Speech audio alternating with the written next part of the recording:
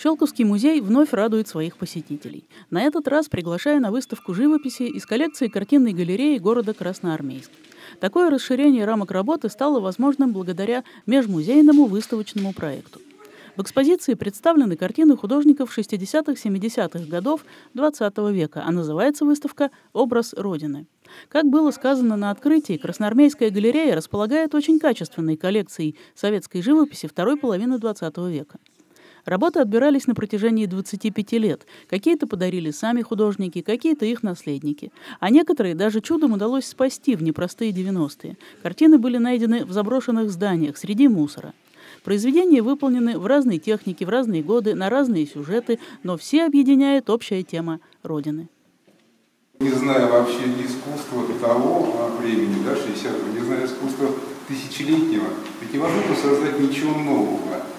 А невозможно продолжить какие-либо традиции. Зная все вот эти традиции, пропустя их через себя, пропустив их через себя, можно о чем-то говорить. Это наставление будущих художников. Среди представленных авторов Евгений Антонов, Владимир Андрушкевич, Екатерина Зернова, Николай Задонский, Виктор Саплин, Карл Фридман и другие. Каждый оставил значимый след в искусстве. На их полотнах многообразие природы, отдых и быт людей огромной советской страны. Душевное чаепитие за самоваром, сбор урожая на поле, русские березы, морские флотские зарисовки, умиротворяющие пейзажи, беззаботное деревенское детство. Выставка будет интересна всем, независимо от места жительства, ведь большинство из нас родом из Советского Союза. Но и молодежь эти работы тоже вполне могут тронуть. На церемонии открытия выставки звучали песни и музыка советского времени в исполнении давних друзей музея, педагогов и воспитанников Щелковской детской музыкальной школы.